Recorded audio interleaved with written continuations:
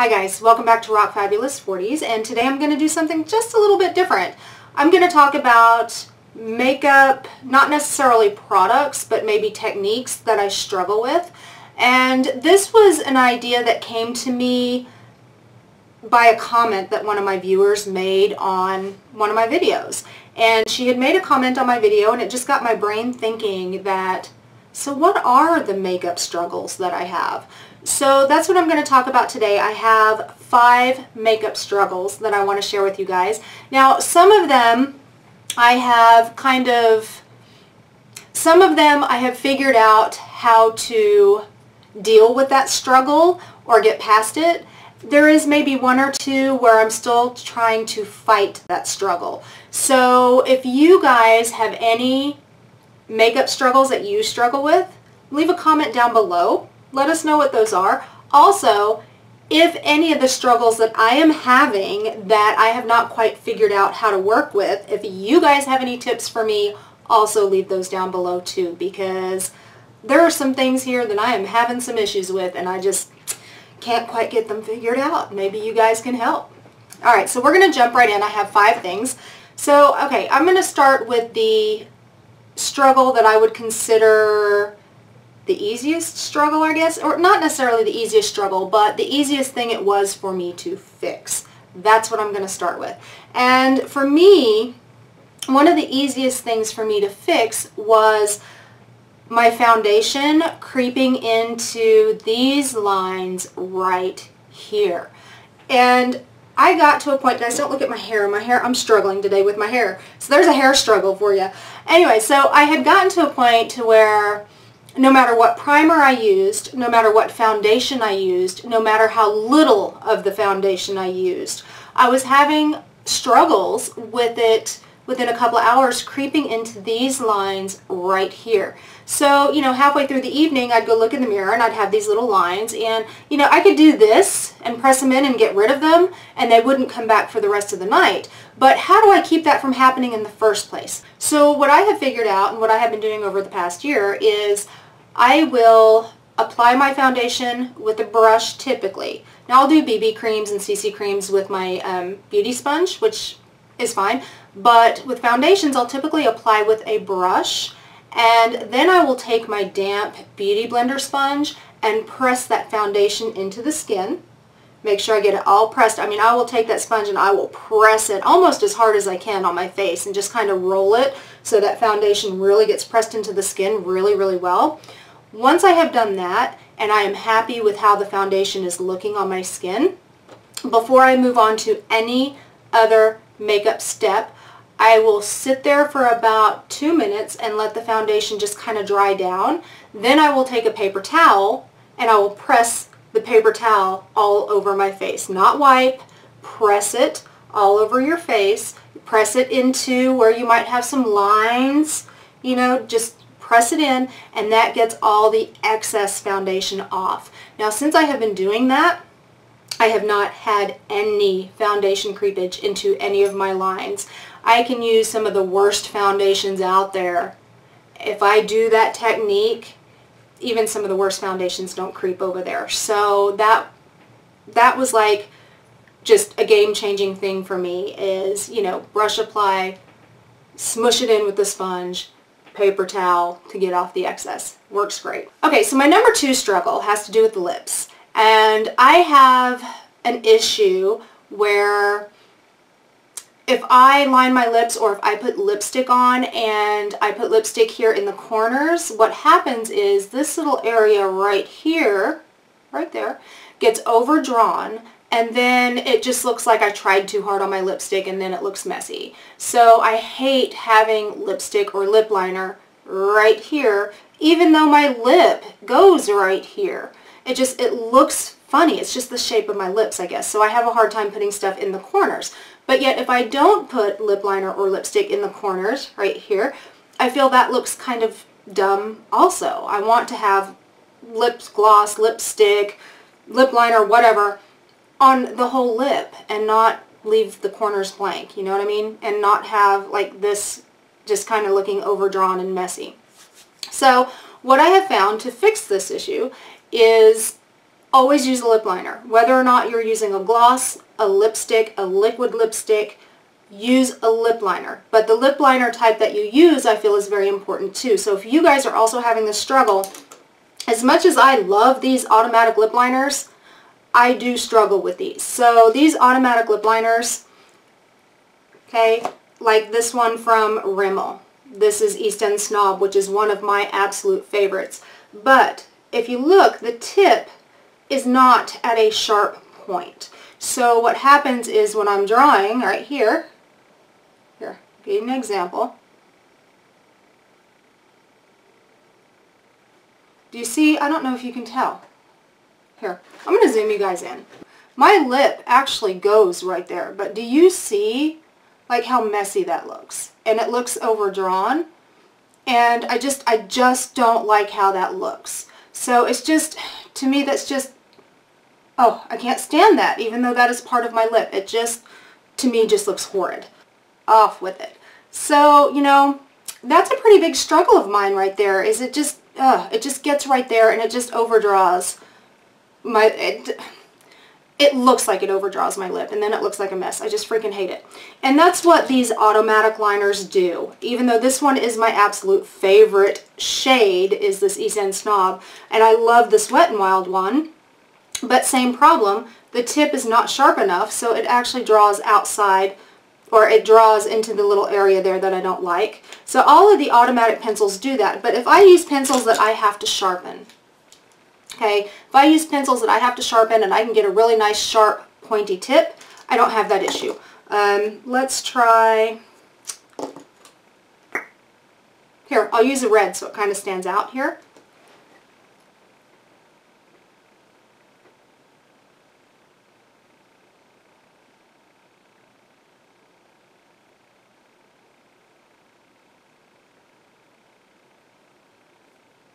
Okay, do you see here I wanted it to stand out so you could see it. Do you see how I get a much more precise line because I'm working with a tip that's a little pointy?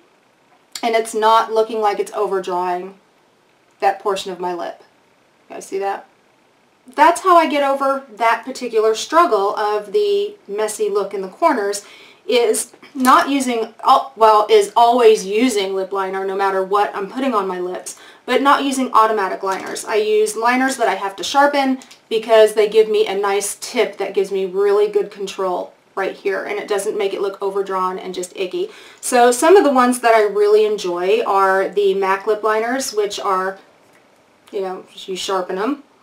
And I love the MAC lip liners. The Milani lip liners are awesome. Okay, you sharpen these as well. Um, and then also the Urban Decay lip liners are also pretty awesome. So those are some of my favorite lip liners to use. And the automatic ones I just kind of set off to the side and I just don't really reach for them anymore. Alright, I got to take this red off now. So my next struggle has to do with eyeliner and it's eyeliner wings or making my eyeliner stay put in the waterline. And I really have to be careful which eyeliners I put in my waterline anyway because there are some eyeliners that put this funky film on my contact lens and it blinds me. I made a whole entire video over it. I'll leave a link for that video down below if you guys are interested. Um, but I do have issues with liner in my waterline. Other than some liners leaving film, the liners that don't leave a film on my contacts typically don't stay on my waterline. They creep over into the corner or they just kind of fade off throughout the day. So one of the ways that I fix that is whatever color liner I'm using in my waterline, I will get a corresponding shade of eyeshadow and I will take a little eyeliner brush and I will dip it into the eyeshadow like for example this little Wet n Wild here this is just the black one I'll dip a little brush into the eyeshadow and I will press it down along the waterline and that will keep my eyeliner on all day long without it moving, without it smudging. So it's almost like you put the eyeliner down in the waterline and then you set it with the corresponding eyeshadow shade. So that's been working great for me. So the wing liner, I'm also going to bunch into this as well because it all just has to do with eyeliner. I don't do a whole lot of wing liner.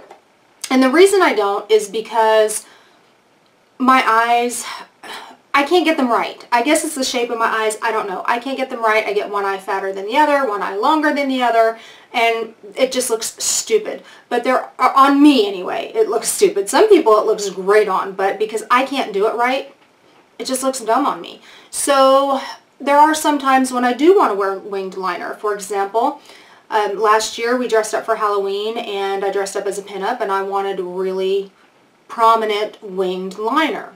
So how I do a winged liner, which is a huge struggle for me, this is how I do it. Alright, first thing that I do is I make sure I have an eyeliner that works great, that I love, that doesn't drift off into the little crinkles there in your lid. You don't want your eyeliner to vein, so you want to make sure you're getting a really, really good liner, number one. Number two, there's certain tools that you can use. Like I picked this up from Real Techniques. This is a little eyeliner stencil. It looks like a little guitar pick. You know what guys, you could probably even just use a guitar pick if you have a guitar pick. But you can take this and you can even it up right here like so and you have a stencil to draw your wing. Or you can take the side of it and do that as well and draw your wing. Okay, that works great. This little $3 tool from e.l.f works great. You can take it, pop it right under the eye like that, and draw your wing. This is also a shadow shield, guys. It will catch eyeshadow fallout while you're doing your makeup as well. It's a great tool. So, you know, those are a couple of things that you can do to help with winged eyeliner. Some people do tape. Um, there's been times I've taken a brush, and I'll just put a brush right there and just use the brush as my guide. But you also, like I said, want to make sure that you are using an eyeliner that does not feather.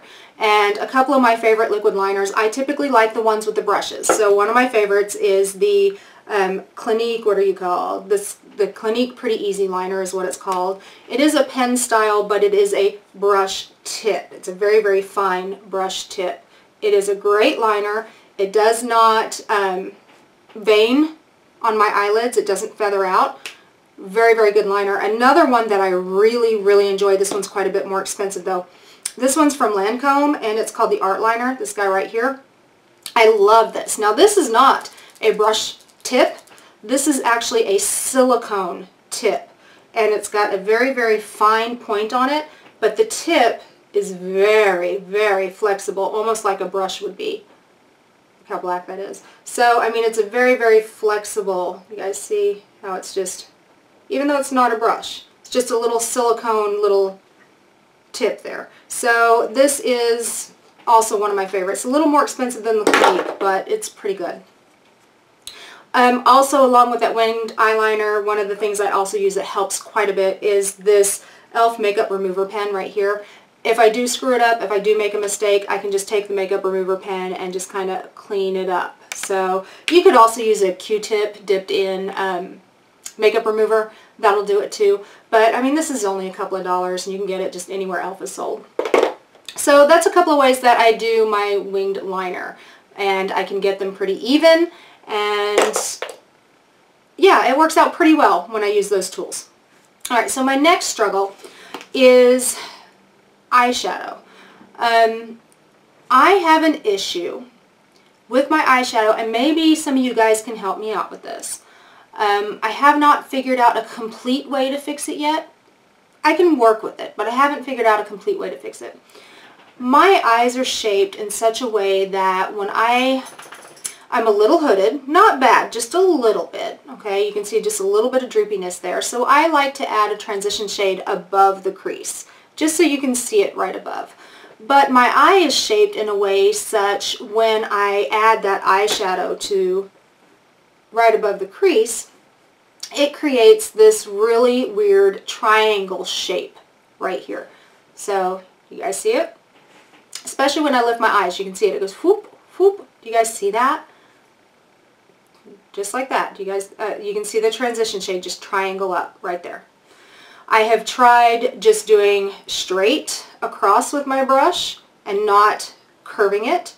It doesn't help it still does that little whoop triangle thing. I have tried bringing the brush up higher, closer to my brow, and just kind of angling it down. That looks weird on my eye shape. So how I get around that, and like I said, I haven't fixed it completely, but how I get around that is I will take a pencil brush like this, and this is just a Sedona Lace, what are you, 904 is just a pencil brush. I will put my transition shade on the pencil brush and I will draw it just like this. I will make a line, I mean literally a straight line, just like that. Then I will take my fluffy brush with nothing on it and I will blend that in. And I will go ahead and do my windshield wiper motions while I'm blending that in. And what it does is it keeps the angle just a little bit more straight. Yes, it still goes up into that funky triangle right there. But it keeps it a little more straight and not so strange looking. But if you guys have like funky eye shape like I do, I don't even know what you would call this eye shape. It's not exactly almond. It's not exactly, I don't know.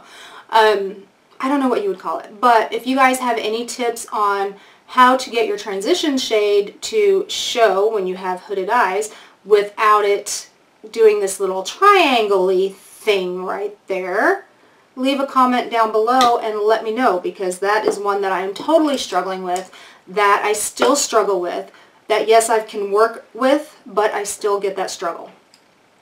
All right, the biggest thing I struggle with, the biggest and the thing that makes me the most aggravated that I struggle with, and I still haven't found a complete fix for it. I can work with it again, but not a complete fix is my under eye circles. And if you guys have any tips for under eye circles, you guys tell me what they are, but I'm going to tell you what I do. And you can see uh, my circles are still showing. You see that? I have used corrector and I have used concealer, and my circles are still showing. No matter what I do, I can't get rid of those damn dark circles. They just continue to show. Now, I do have a little bit of a bag right here, not bad, just a little bit of puffiness there. So what I do to at least help combat this, because I have tried many, many ways, and if you guys are around my age, and I am in my late 40s or even older, you guys know that as we get older, we get some puffiness, we get some crepiness, but yet we also get those really dark circles under there. And we want to be able to cover the circles but we don't want to put too much product under there or too much of a full coverage product under there because those tend to make us look more crepey, more wrinkly under the eyes and it just looks cakey and I just don't like using a ton of product under the eye. So one way I have been trying to combat the dark circles, even though I still haven't got it figured out completely, but my under eyes don't look cakey, that's a plus, is I start with a color corrector. So I will do my foundation. I'll get my foundation on. And I will do a color corrector. Two of my favorites are, and I still I still have this old jar of it, is the uh, Benefit Erase Paste. I use this all the time, but I only need so little of it that I still have the original jar here. And I also use the Bobbi Brown uh, corrector in Peach Bisque right here. And one other one that I used to absolutely hate with a passion, absolutely hated it, thought it was the worst product in the world. I tried it again and I'm starting to use it more because it works. And this is a drugstore one. This is the Master Camo by Maybelline and it is in, I believe this is the peach one. This is the um, apricot one and again, it's the Master Camo from Maybelline. And this has got like a funky little tip to it here. And it looks really, really dark. That was one of the reasons why I hated it because it was so dark and I had to use so much concealer to try to cover it up. But I have learned how to use this and I've learned how to like it. I never apply this with the tips. I never apply any of my concealers with the tips that come on the actual concealers or correctors. I use my own brush and typically what I'll do is I'll use a very very small headed brush. Um, this one from Moda, this is the Moda Prismatic Collection. You can get it at Walmart. It's got a very small but very dense tip here which works great. I will take that color corrector.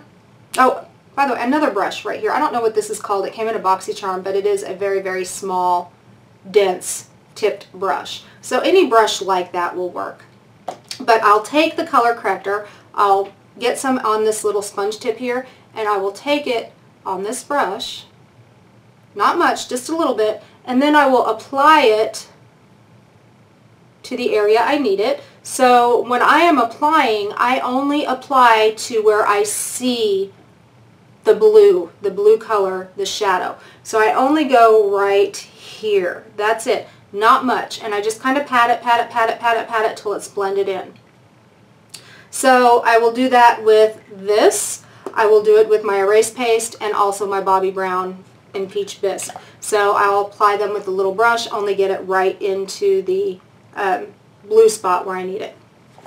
Once I have done that and I've got it all blended in, then I will take my concealer, which again, I never ever ever apply my concealers with the, the uh, applicators that come with them. I just, I don't. It's way too much. It applies way too much.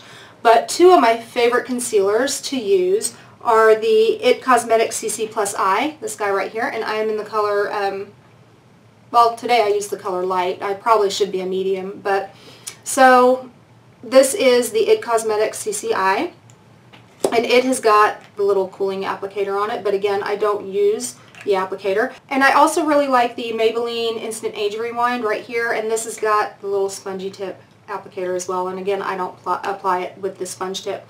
So what I'll do is I will take a bit of the product, and I will put it on the back of my hand like that. I know that looks like a lot, but I'll put it on the back of my hand. And then I will take my finger and I'll dip my finger in there and then just place it just right over where I put the color corrector. That's it. Just right over, not very much at all. Just kind of dab it in. Then I'll take my makeup sponge, my beauty blender, and blend it in the rest of the way.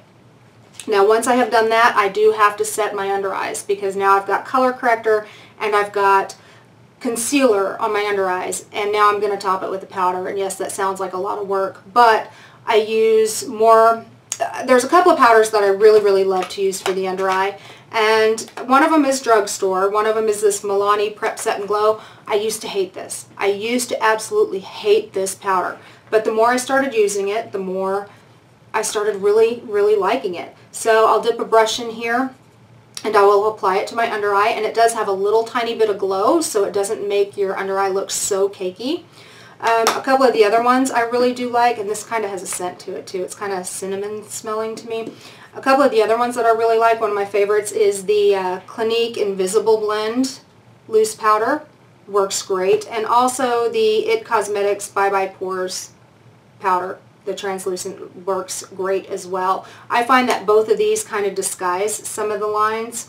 And this one kind of does a little bit as well. Not as well as these, but it, this one also gives you a little bit of illumination under there.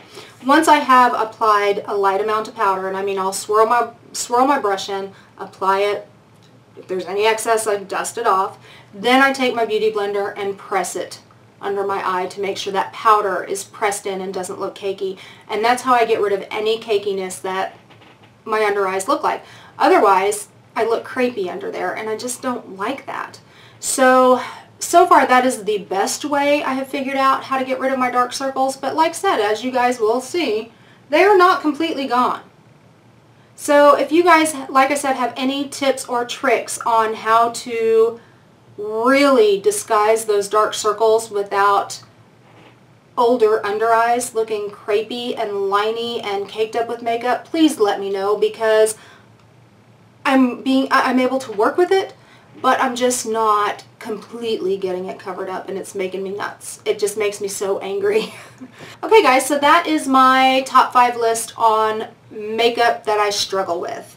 Makeup how-tos um, that I struggle with. So if you guys, like I said earlier, have any makeup struggles that you are dealing with, leave a comment down below. Maybe somebody out there can give some tips and tricks to you on maybe things you can try, maybe things that might help. If you guys have any like ideas on how I can work with my struggles, especially those stupid dark under eye circles, or, you know, even with my funky angled eyeshadow issues I've got going on, leave a comment down below and give me some of your ideas as well, because I'll try them out and see if they work.